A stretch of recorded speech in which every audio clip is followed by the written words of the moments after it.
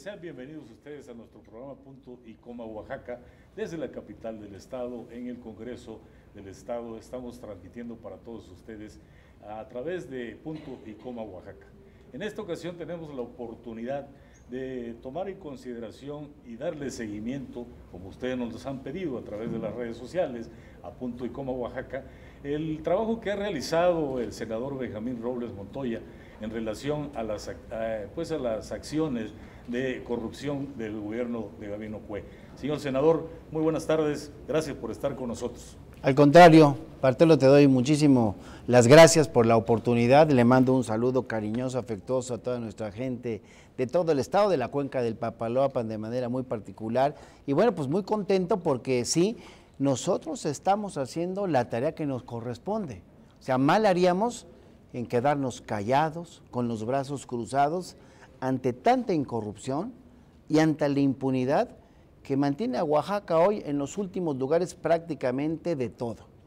No podemos tolerar, Bartolo, amigas, amigos que nos ven y nos escuchan, no podemos tolerar que, anden caminando los exfuncionarios como si no le debieran nada a nadie.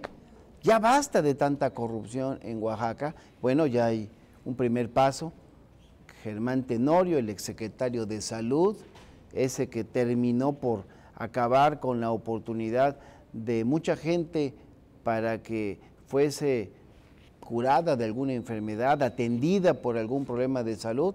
Bueno, pues él eh, aprovechó los recursos para enriquecerse de manera ilícita, ya está en la cárcel, ojalá lo refunden ahí por mucho tiempo, pero igual a otros. De manera particular al exgobernador Gabino Cue, que defraudó la confianza del pueblo de Oaxaca, ante quienes hemos presentado una solicitud de juicio político que históricamente, Bartolo, tú sabes, ya arrancó. Nunca había sucedido que se le sometiera un juicio político a un exgobernador, ya arrancó, va lento el proceso, pero hoy vinimos precisamente aquí al Congreso local a revisar cómo va avanzando, tuvimos el expediente a la vista y podemos decir que sí lento, pero confiamos en que esto permita que haya justicia, pero espero yo que la Contraloría también esté actuando desde el punto de vista administrativo y la PGR y la Fiscalía desde el punto de vista penal. Señor, eh, no, es, no es una situación particular en el estado de Oaxaca esto, pero bueno, eh, sí es eh, relevante que tome usted la iniciativa y sea el parteaguas en la política del estado. Se han visto casos similares en otros estados, como es el caso de Veracruz con Duarte, como es el caso de Chihuahua con el otro Duarte, como es el caso de Quintana Roo, donde existe ya un hartazgo de la sociedad en relación a, pues a cómo dirigir la política que no es de trabajo hacia la ciudadanía, sino es de forma eh, eh, pues exagerante sobre el enriquecimiento ilícito, corrupción y sobre todo la privación del Estado de Derecho. ¿Cómo lo observa usted en el plano nacional esta situación que está sucediendo en todo el, en todo el país? Bueno, qué bueno que eh, hoy se está poniendo de moda eh, llevar a exgobernantes a la cárcel. Habría que decir que si revisas lo que pasa en otras naciones, supuestamente menos democráticas que México, expresidentes han ido a la cárcel los destituyen del cargo. Aquí apenas empezamos y yo creo que esto se da porque el PRI ya no tiene salida, ya no encuentra cómo resolver esa caída que tiene pero brutalmente en picada y ha decidido pues escuchar lo que ha sido un grito no de ahora como dices tú, sino de siempre que entran con la mano una mano por delante, otra por detrás y salen multimillonarios para que generaciones y generaciones de sus familias pues no tengan ningún problema, pero a costa de la pobreza, de la miseria, de la marginación de nuestra gente. Entonces, sí, a nivel nacional hoy ya vemos cómo se detuvo al exgobernador de Quintana Roo, eh, Borge, eh, ahora ya está anda lavando baños, eh, qué gran lección está recibiendo, ojalá todos los que hoy gobiernan distintas entidades vean lo que les puede pasar. Hoy en Oaxaca estamos dando un ejemplo para los próximos eh, gobernadores, el actual y los que vienen, no pueden hacer de las suyas y pensar que nada va a pasar. Mira, Gabino Güey es un saqueador, es el saqueador de Oaxaca.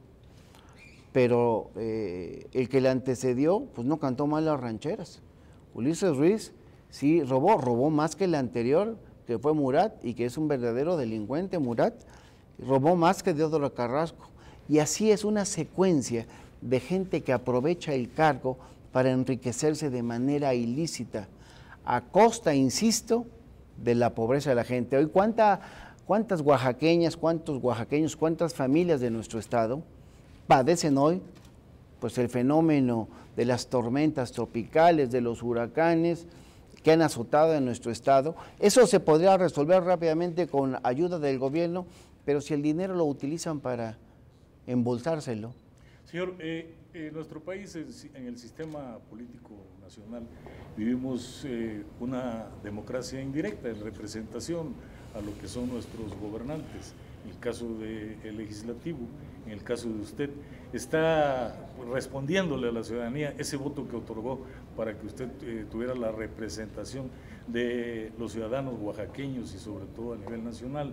Lo digo porque es muy difícil tomar este tipo de decisiones en el señalamiento, sobre todo las situaciones de carácter administrativo, y señalar a los políticos ante la autoridad eh, correspondiente jurisdiccionalmente para denunciar las eh, conductas eh, que están tipificadas en, el Código Penal. Esa es la respuesta.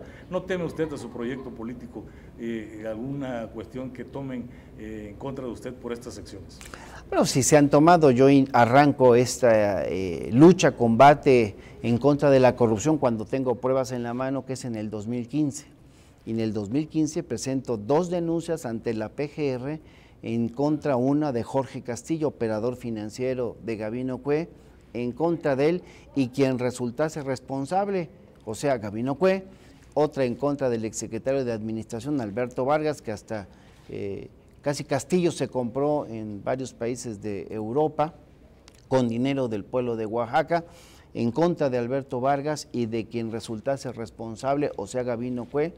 Y yo no tengo duda, hoy pasado el tiempo, que eso provocó que Gabino Cue decidiese parar ahí la posibilidad de que un servidor, que era el mejor posicionado, encabezara la, coalición de, que debió haber continuado buscando que nuestro Estado saliera adelante. En, consecuencia, pues le regaló eh, el gobierno al PRI, hizo sus componendas, pero ni modo de quedarme con los brazos cruzados, o sea, ¿qué, qué, qué mal haría yo? ¿Con qué cara iba a ver yo a mis hijas? Sabiendo cómo va el Estado en picada, un día mis hijas me van a decir, oye, ¿tú qué hiciste cuando fuiste senador? O sea, tanta corrupción. Bueno, yo he hecho todo lo que esté en mis manos. He puesto en riesgo, eh, eh, pues no solamente eh, rutas, temas de carácter político, pero prefiero actuar con honestidad como lo estoy haciendo. Pongo en riesgo a mi familia. Yo siempre he dicho, y ahora vuelvo a decir, Gabino, Cue, Castillo, todos esos delincuentes como Alberto Vargas, serían los únicos responsables si algo eh, le sucediera a un servidor o atentaran contra mi familia. Yo ya hablé con ellos y finalmente hemos decidido que hay que ir para adelante. Nosotros hemos defendido las causas de la gente, hemos combatido la corrupción. Es una lucha feroz, dura, hay que hacerla. Yo reivindico ahorita ante tus cámaras que vamos a seguir nosotros combatiendo la corrupción. Señor, en algunas notas periodísticas en esta semana eh, eh, se maneja que Jorge Varela vendió plazas y hablan de plazas de Ministerio Público, secretarios, incluso policías ministeriales. Eh, pues señala ese medio de comunicación que estos costos variaban entre 200 y 100 mil pesos. ¿Incluye esa averiguación o esa investigación lo que usted está manifestando el día de hoy en esta Cámara de Diputados? No, no incluye eso, pero si hay eh, pruebas que quieran presentarme, quienes tienen estas denuncias eh, como señalamientos ahora, pero si tienen pruebas, confíen en que yo haría la chamba que a mí me toca. ¿Cuál es? Presentar esa denuncia. Yo me fajo los pantalones y presento las denuncias, pero tienen que ser con pruebas en la mano. Yo con pruebas en la mano he acusado, con pruebas en la mano presenté la solicitud junto con un grupo de ciudadanos integrantes del Consejo Ciudadano contra la Corrupción y la Impunidad. Presenté las pruebas para el juicio político en contra de Gabino y también lo he hecho eh, desde el punto de vista penal en autos funcionarios. Entonces, denme las denuncias y yo, por supuesto, que voy a cumplir. Ayer posicionó su, pues, eh, su eh, situación en la que hoy se presentaría a la Cámara de Diputados ante la comisión que le da seguimiento a esta denuncia que presenta Benjamín Robles Montoya. ¿Cuál es la respuesta que obtuvo el día de hoy aquí en la Cámara de esa comisión que está encargada de esta, de esta investigación? Gracias. Bartolo viene acompañado por los integrantes de este Consejo Ciudadano contra la Corrupción y la Impunidad y nos dieron vista del expediente. Tenía información por un mismo medio de comunicación de que en mayo se había ya eh, tenido respuesta para que conociera la comisión instructora el domicilio de Gabino Cue, el domicilio oficial para ser notificado. Bueno, nos dieron este nos dieron la, le dieron a la comisión instructora ya el domicilio y ahora corresponde notificarle, darle parte del expediente para que conozca su acusación, la acusación que estamos haciendo, y si él tiene pruebas, porque así lo permite el derecho, y qué bueno que así sea, que alguien que es acusado pueda defenderse, aunque en el caso de Gavino, pues es indefendible. La verdad es que lo que le acusó la Auditoría Superior de la Federación en los primeros años, las auditorías que se le hicieron, no hay forma, así lo explicó la propia auditoría en sus documentos, no había forma de componer el desvío de recursos y que eso está penado de manera administrativa, eh, por supuesto penalmente correspondería que regresara más de 5 mil millones de pesos, algunos cálculos eh, que tenemos, y eso aparte de los moches, ¿eh? porque Gabino Cue y Jorge Castillo eran los campeones de los moches, ¿eh? Se chingaban a todo mundo que quería algún contrato, alguna concesión, a veces hasta la mitad. De ese tamaño de ladrón, yo no puedo entender cómo Gabino Cue cambió tanto, porque él y yo fuimos amigos durante 30 años y yo nunca pensé que fuera a cambiar de esa manera tan radical. ¿Qué les pasará que cuando llegan a la silla de gobernador se convierten en ladrones? Por eso hay que buscar el escarmiento en esto y yo estoy seguro que aunque va lento, pues el juicio político habrá de ser una herramienta más para que actúe la Procuraduría General de la República, la Fiscalía del Estado y con la Contraloría pues, también administrativamente haga la chamba que le toca. Le toca también, ahora hace unos días fue nombrado el fiscal anticorrupción y, en materia electoral. Este caso tendría que, observarlo él por, por ser delitos de competencia del foro común hay, alguna, hay algún indicio y alguna preocupación, porque bueno, pues en el momento que existe un delito, la autoridad correspondiente, la autoridad que investiga, tiene la obligación de hacerlo. ¿Hay algún acercamiento ya con esta nueva autoridad? Mira, nosotros no tuvimos acercamiento con el anterior fiscal porque la verdad, eh, eh, a pesar de la buena relación personal que él tenía, que tenía yo con él, la verdad es que era parte del mismo equipo. Ahora que hay un nuevo fiscal, buscaremos una comunicación. Yo he hablado telefónicamente y como Consejo Ciudadano le he dicho que buscaremos un acercamiento. Es la agenda personal, la verdad, la que ha impedido que podamos tener este encuentro. Él tiene escasas semanas en el cargo. Yo creo que tendremos la apertura y espero que ahora que lo veamos tengamos un informe, no al detalle, porque jurídicamente también hay impedimentos de conocer al detalle, pero que sí sepamos que así como ocurrió con Germán Tenorio, así ocurrirá con Jorge Castillo y con Gabino Cue, con Alberto Vargas, cabezas de verdad de esta mafia, de esta banda de ladrones que saqueó a Oaxaca.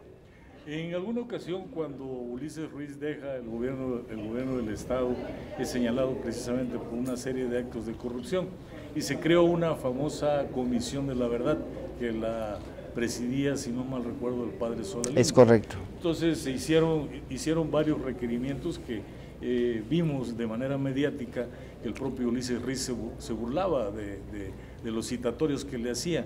No concluyó absolutamente nada esa, esa comisión de la verdad, eh, no se consignó ningún asunto de esta naturaleza para que en su caso Ulises Ruiz respondiera de los actos de corrupción que vivió en su gobierno.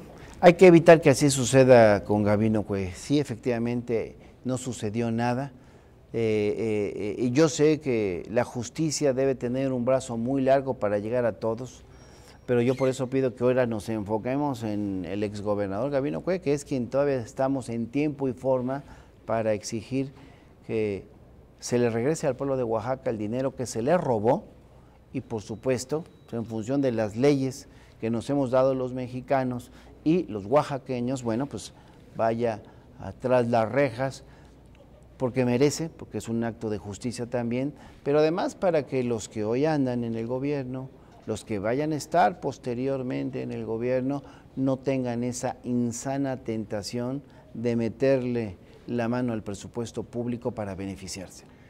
Benjamín Robles Montoya le dará seguimiento en las causales de la ley procedimentalmente a todos estos actos que ha denunciado eh, de corrupción del, gobierno anterior. Lo estamos haciendo, lo seguiremos haciendo, no estamos solos, eh, tenemos el apoyo, el respaldo de muchas ciudadanas, ciudadanos, pero yo de manera particular asumo el compromiso de darle seguimiento puntual a esto para que haya justicia, la justicia que tanto anhelamos en el Estado. Hablando de la situación política que está viviendo el país en relación a los partidos políticos y procesos electorales, Benjamín Robles Montoya es el coordinador político nacional del Partido del Trabajo. Hace exactamente una semana eh, se, dio, eh, se llevó a cabo el proceso electoral en la ciudad, en el Estado de, México, donde participó Morena con un resultado eh, pues bastante favorable en, el sentido de que tiene poco tiempo de haberse constituido como partido político. El Partido del Trabajo tiene una gran influencia en, ese, en esa elección de Delfina, en la que, bueno, pues este, las denuncias que presentan de, varios actores políticos dentro de partidos políticos también, eh, pues señalan a Del Mazo y a la elección como una elección de Estado, donde eh, la caballería económica y política del Partido Revolucionario Institucional hizo sus, sus, eh, su modus, modus operandi. ¿no? En esto pues se lleva a cabo ya dándole seguimiento a ese proceso, a esa inercia que nos lleva a la elección del 2018. acaba de celebrarse la Asamblea Extraordinaria del Partido Morena en la Ciudad de México, donde dan a conocer precisamente que el Partido del Trabajo y Morena van a ir en coalición para el 2018. Te comento esto porque tuve la oportunidad hace dos años de entrevistar a Andrés Manuel López Obrador en la cuenca del Papaloapan y él comentaba que no iba en alianza con ningún partido político. En este caso incluso eh, le hice la pregunta de Movimiento Ciudadano que encabeza su líder moral, Dante Delgado Ranauro, porque fue uno de los principales que se unió a este, a esta, a este partido Morena, y él decía que que iba, iba, iba, iba a ser un, pues, eh, el partido que iba a ir solo. Ahora la situación cambia, los pues obviamente las inercias tienen que cambiar de acuerdo a las circunstancias. ¿Cuál es tu opinión en relación a este, este acuerdo que toman en, la, en el eh, pues, eh, Congreso Extraordinario de Moreno? Primero déjame decir en función de lo que has dicho que me estoy totalmente convencido de que la maestra Delfina ganó las elecciones de lo que, que se vivió en el Estado de México es otro fraude electoral del tamaño del planeta. Y yo espero que se sigan los procedimientos que permite la ley para demostrar que la maestra Delfina ganó la elección, donde el Partido del Trabajo al final se suma a esa contienda y bueno, estoy seguro que permite que la diferencia eh, que permite el triunfo de la maestra Delfina sea más claro y contundente. Es esta, este manejo cibernético y, la compra de votos lo que hoy tiene a los mexiquenses otra vez pues en una situación muy complicada porque van a volver a aprovecharse de ellos, como lo han hecho en los últimos sexenios, este famoso, grupo Atlacomulco, que más bien es el grupo Atracomulco, porque son unos atracadores. Y bueno, el Congreso Nacional de Morena, efectivamente, hace dos años eh, nosotros tenemos eh, muy bien entendido que había determinado en el seno de sus órganos de dirección no ir en coalición con nadie y en el Congreso Nacional del domingo se señaló que efectivamente ahora la política es que solamente ir en coalición con el Partido del Trabajo. La verdad es que nosotros hemos pensado que es muy importante sumar a las izquierdas, si no se podrá hacer a nivel de partidos políticos, si solamente el PT y Morena irán juntos, pues yo hago un llamado a las fuerzas de izquierda del PRD, a los liderazgos del PRD, a los liderazgos del Movimiento Ciudadano, a que se sumen. En el PT tienen las puertas abiertas para que puedan tener una participación.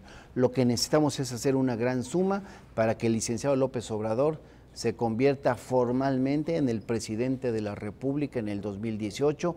Ganó, ganó, las elecciones, iba a decir ganamos porque yo lo acompañé en el 2006, en el 2012 fuimos compañeros de fórmula, él como candidato a la presidencia, yo en el Senado, le decía yo en una cena a él, bueno, licenciado, pues yo soy senador gracias a usted, ahora creo que tenemos que meter todo lo que podamos, todo el esfuerzo político para que López Obrador la izquierda gobierne este país, que ya no aguanta más priismo, ni los gobiernos panistas que no han resultado eh, como lo esperaba el pueblo cuando hubo la alternancia.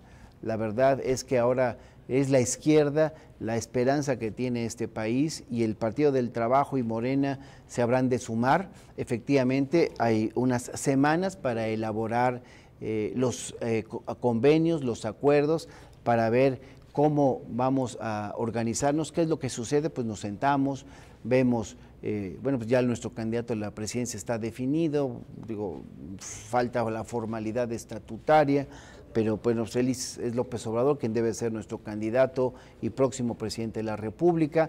Tendremos que ver en muchos eh, eh, estados donde hay elecciones a nivel de gobernador, cómo podemos armonizar lo mismo para que no suceda que al final eh, querramos sumar a, otras fuerzas. No debe ser desde un principio, por eso yo abro las puertas del PT de Oaxaca, pero también hablo por mis compañeras y compañeros de todo el país. El petismo está abierto a los liderazgos de izquierda que se quieran sumar. Bueno, inclusive hay muchos priistas que ya se dieron cuenta y que tienen una presencia de que es un error seguir apoyando a ese partido. El PRI ha hundido a México, el PAN, todos Súmense con nosotros para hacer una gran alianza del PT de Morena con la ciudadanía de este país y entonces darnos la oportunidad de que en el 2018 la izquierda gobierne este país y López Obrador se convierta en el presidente de la República de manera formal, porque ya en el 2006, repito, en el 2012 nos robaron las elecciones. La tercera es la vencida y vamos a ganar. Señor, hablaba usted ya de los eh, sentarse para establecer en lo particular las cuestiones de los acuerdos políticos de, ese, de, ese, de esta coalición. La normatividad establece que en el mes de septiembre más tardar deben de presentar los proyectos ante el órgano electoral, que es el Instituto Nacional Electoral. Y en esos tiempos fija que a más tardar el día 29 de noviembre debe de celebrar el Consejo General una sesión para aprobar estos proyectos. De aquí para, de aquí para adelante esos acuerdos conllevarán, como, como lo cita en algunos estados, la conveniencia de ir en alianza eh, total o alianza parcial, como dice la ley. Definitivamente la alianza, la alianza total ya está... Con el presidente de la República. Pero bueno, tendrá que revisarse eh, el, espectro político y electoral en cada estado para ver las conveniencias de cómo definir el pacto, el, acuerdo a nivel, a nivel Tomemos el caso de Oaxaca. si Morena y el PT hubiesen ido juntos la elección de gobernador pasada, pues si vamos separados, bueno, pues entonces cada quien va a jalar para su ruta. Por eso me parece que sí, se va a trabajar en estos y yo tengo eh, una expectativa muy clara porque hemos hablado con nuestros dirigentes del Partido del Trabajo y con algunos eh, eh, enviados, representantes del licenciado López Obrador, para construir precisamente esto que ya desde ahorita se empieza a revisar, pues para que en tiempo y forma, como lo plantea el marco jurídico, se presente el respectivo convenio. Son temas menores, diría yo. Lo más importante es que eh, ganemos la presidencia de la República, ganemos la mayoría del Congreso de la Unión, del Senado de la República, de la Cámara de Diputados, de los gobernadores cuyas elecciones van a estar en juego en varios estados, de las presidencias municipales, de los diputados locales. Hay mucho trabajo por hacer,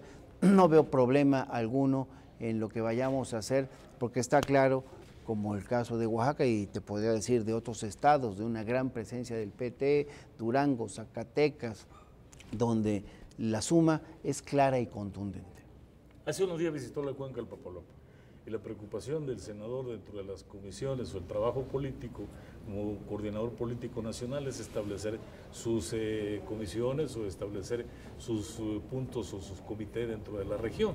Vimos en un Valle Nacional que era auténticamente tricolor, ahora ya se le dio posesión a un, a un comité del Partido del Trabajo, lo vimos en Loma Bonita, y en especial en Tustepeque, donde pues hay un gran trabajo del partido eh, que llevó a Fernando Bautista Dávila. ¿Qué eh, impresión tiene de ese trabajo y de la suma de los eh, militantes ahora al Partido del Trabajo como lo constató en días pasados? Bueno, la verdad es que recibimos muchas llamadas de muchos liderazgos hoy en día. Estamos recibiendo llamadas de todas las regiones de líderes que quieren ver si tienen una cabida, un espacio en el Partido del Trabajo. Sí la tienen, la tienen y el resultado es pues, que el partido se está fortaleciendo.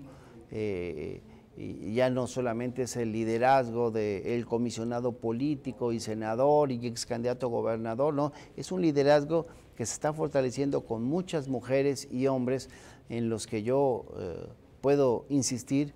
Nuestra meta, nuestro reto es convertirnos como Partido del Trabajo en la primera fuerza política del Estado en el 2018.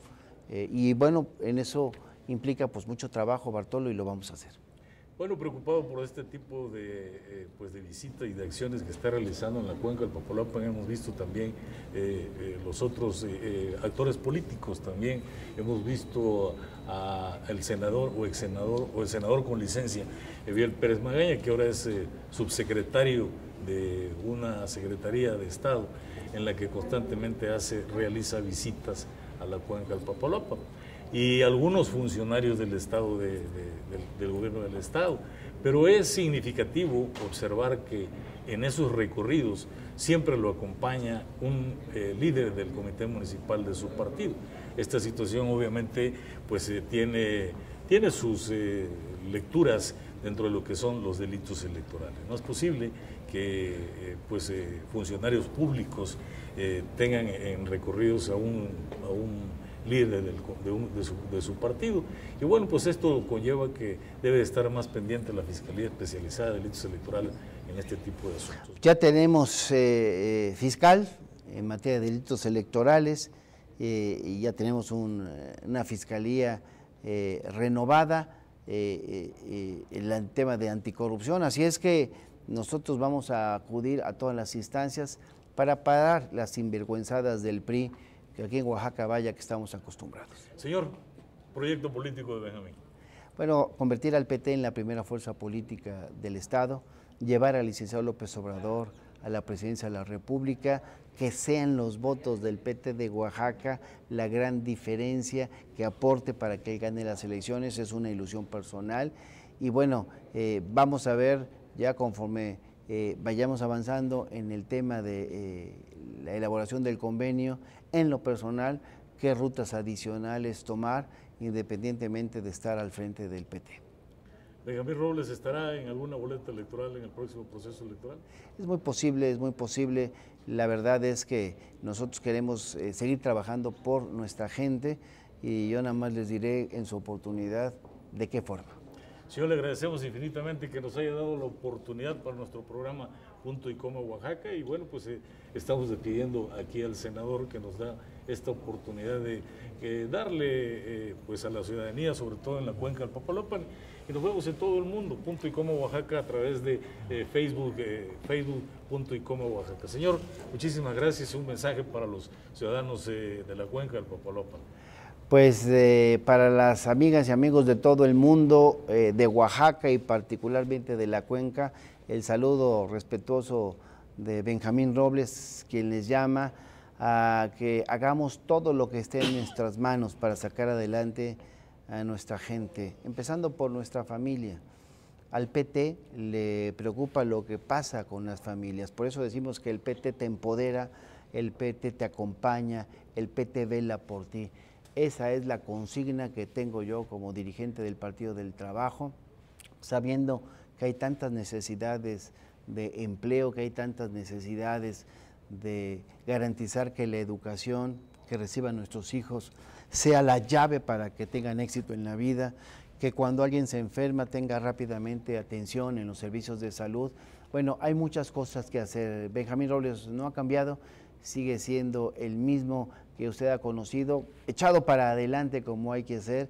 Y bueno, pues un saludo muy afectuoso. Muchas gracias por la oportunidad que me han brindado de estar otra vez más ahí en sus hogares, desde donde nos estén viendo.